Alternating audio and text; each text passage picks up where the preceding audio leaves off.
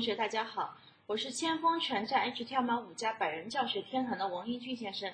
今天要给大家讲的是全站 H 跳马五加第一阶段 H 跳马加 CSS 的第十四章弹性和和媒体查询的第二部分媒体查询。那么什么是媒体查询呢？媒体查询可以让我们根据设备显示器的特性，比如视口宽度啊。屏幕比例、设备方向、横向还是纵向，为其设定一个特定的 CSS 样式。那么我们一般在媒体查询里面用于检测的媒体特性有宽度、高度、颜色等等。那么我们这边来看个例子，比如说是这个页面啊，这个页面来我们来刷新一下，看一下啊。那么大家可以看到，在我们的现在的这个显示器的分辨率下面，它是幺四四零乘九百，然后呢，它它显示的是两栏布局。那么我现在把我们的浏览器窗口缩小一点来看一下，这是我们这么宽的时候，你可以看一下，像这块区域，来我们量一下，它这块区域的话是多少呀？是在七百五十，然后这块区域呢？这块区域是三百六十三。那么当我缩小我浏览器窗口的宽度的时候，比如说现在你的那个就是放到 iPad 或者是嗯再小一点的分辨率上面去，你就可以看到这块区域它的宽度。而这块区域的宽度已经变成了多少？六百一十六。而这里呢，变成了多少？二百九十七。看到没有？那么这里可以再缩小。呃，缩到这个程度，你就会发现它变成了一个什么？一栏的布局。刚才是两栏布局吧？现在这里是一栏的布局。然后它刚才在右边部分的内容全都到这下面来了。啊，右边部分内容到下面来。那么当我们再缩小浏览器窗口的时候，啊，缩到一定程度的时候。来，你可以发现我们的这个一栏布局啊，它会继续的往下去缩小。大家看，是不是它会再继续的往下去缩小，一直缩，一直缩啊，一直缩。那么你看，这样子的话，相当于是在我们手机屏幕上去看了啊，就是这样子一个效果，看到没有啊？如果在我们的手机屏幕上面看，基本上就差不多是这样子一个宽度啊，然后是这样的效果。那么这就是我们的媒体查询。那么我们媒体查询的那个用法是怎么用的呢？我们来看一下。它主要是这样子的两个用法，一个语法，第一种语法呢是直接写在我们的 CSS 里面，啊，直接写在我们的 CSS 里面，通过 at media，然后呢，我们去选择这里有个 media type，看到没有？就是选择我们的一个设备的类型，然后呢，这里有条件，用 and 连来连接，还是用 not，还是用 only？and 就是呃各个很好可以匹配好几个条件。Not 呢，除了这个条件以外，Only 呢是仅仅这个条件。然后呢，这是我们的 Media Feature，就是我们的媒体条件。然后下面是特定的 CSS 属性，这是写在我们 CSS 里面的。然后还有一种呢，就是说，当我现在如果 CSS，就是说它的那个变变了量非常大啊，变得这个数量非常大。然后呢，如果光是写在一个我们 CSS 文档里面用第一种方法的话，如果它那个量非常大，会导致我们 CSS 非常混乱，看起来很累。那么我们可以针对不同的一个媒体，使用不同的 CSS 的一个就是样式表外外部的样式表。然后呢，在这里一样的，通过 Media 我们的一个媒体类型啊，然后呢去匹配我们的条件，然后去调用不同的 CSS 样式表，看到没有？调用不同的 CSS 样式表，那么这就是我们媒体查询的一个使用方法。那么媒体查询的话呢，它在我们媒体上面啊，有这样子几种，像什么，呃，适用于语音和音频合成器啊，等等啊，然后适用于打印机啊什么的。我们大部分使用的是这个啊，那个就是我们适用于显示器的这个 screen 啊 screen。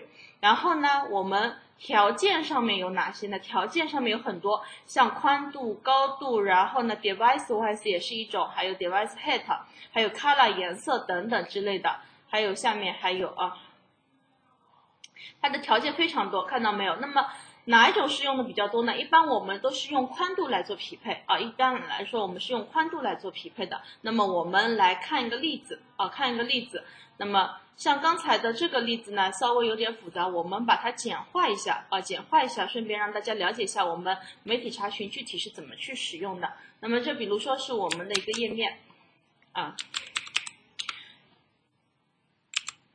这是最最普通的一种使用方法。那么我们来看一下，比如说这是我们的页面，现在呢它整个背景色是白色的啊，整个背景色是白色的。那么我们来 style type。好，然后呢，在这里我给它写上 background，就是 body，body 的 background，井号 F 零零。这样子你就能看到我的整一个背景色变成了红颜色吧，对不对？但是我希望当我浏览器窗口放大缩小的时候呀，我的这个颜色能够是不同的去变化。那么在这个情况下呢，我们就要用到我们之前讲过的一个属性啊，之前讲过的一个属性，这个属性叫什么呢？叫 max width 和 min width。max width 是什么意思啊？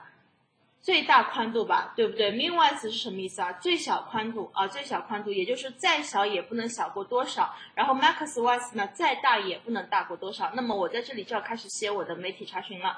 首先用什么？at media media，然后之后呢？screen s s c r e e n 还是 s c e e n 啊？我觉得那个这里面好像少掉了一个啊。然后呢，我们。Screen screen 之后，然后是 and，就是 and 后面跟的就是我们的媒体条件啊，and 后面就是我们的媒体条件。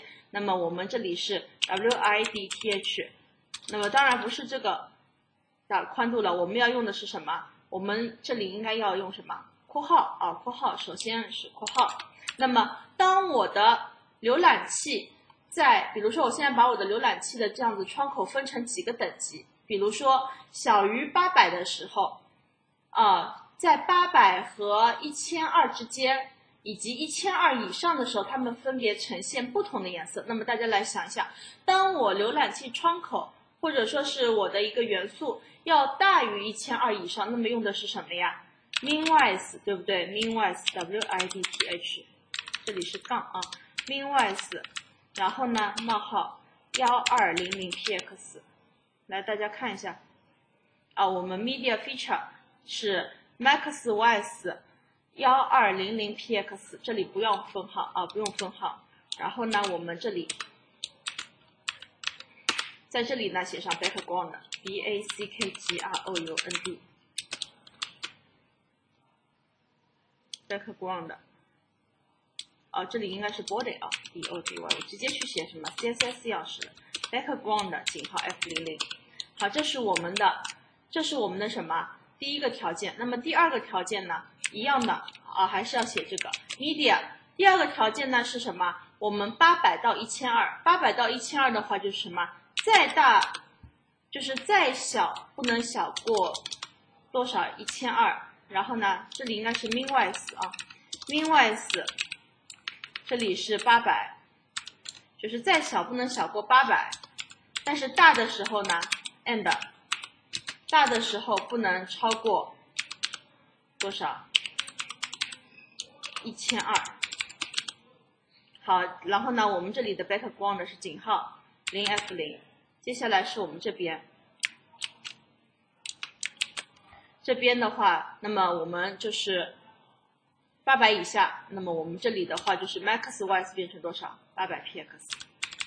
然后 background 的井号零零 f，好，我们现在来看一下我们这个效果行不行啊？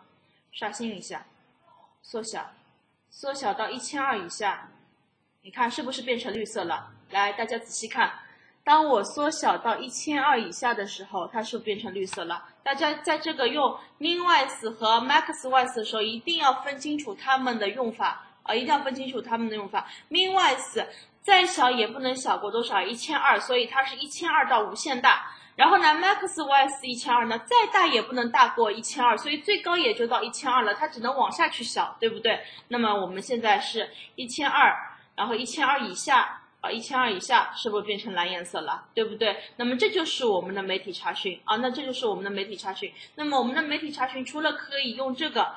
光是用背景色啊，那么我们还可以用什么呢？我们还可以用来做其他的一些样式，比如说我现在 body 里面，啊 body 里面有一段话啊，比如说 H 一，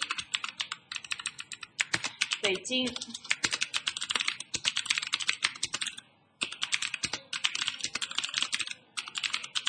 好，北京千锋互联有限公司，然后呢，这里有个 P 标签，P 标签，然后。这里呢可以写上那个就是，嗯我们的公司的一个名字，比如说什么做，嗯，就是做真实的自己，用那个良心做教育，好，做真实的自己，公司的一个口号啊，用良心做教育。然后呢，我们这里就不是 body 了，好，我先把 body 的条件都删了。好，我们这里呢是改成是多少？H 一，H 一的话，在我的一个就是在一千二以上的时候，我可以给它写上什么？font size，比如说是七十二 px。然后呢，我们的 P 标签 font size 是三十六或者是四十八。然后呢，有一个 background。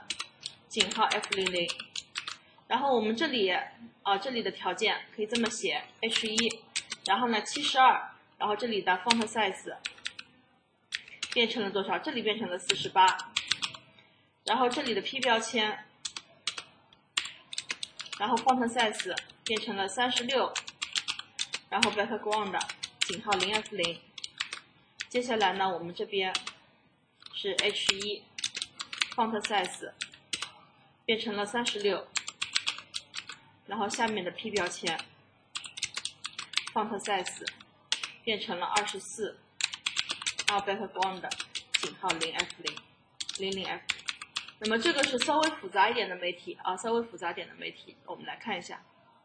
那么当我在原来的就是一千二以上的时候，这个文字是这么大啊，这里是这种大小，然后当我缩小的时候，你看我缩小到一千二以下。啊，一千二以下是一个文字也缩小了，看到没有？啊，上面文字和下面文字都缩小，下面文字背景色也变了。那么我们这里，你看这里的文字又缩小了啊。那么这种的话，就是可以说，就是可以像这种情况，当我在一千二以上的时候，我可能就是两栏布局啊。当我在一千二以上的时候，就可能是两栏的布局，看到没有？左右两栏。那么当我小于一千二的时候呢，我可能两栏布局的左右宽度都缩小一点。